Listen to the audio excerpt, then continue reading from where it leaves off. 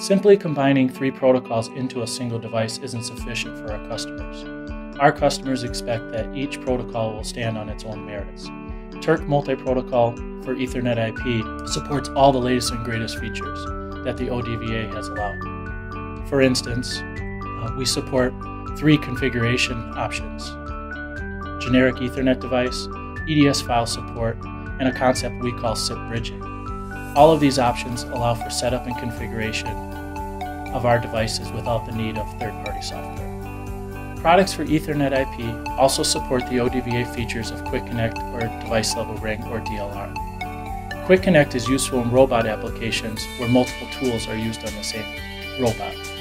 Our products will power up and start sending process data to the PLC in 100 milliseconds or less, making Turck one of the fastest in the market.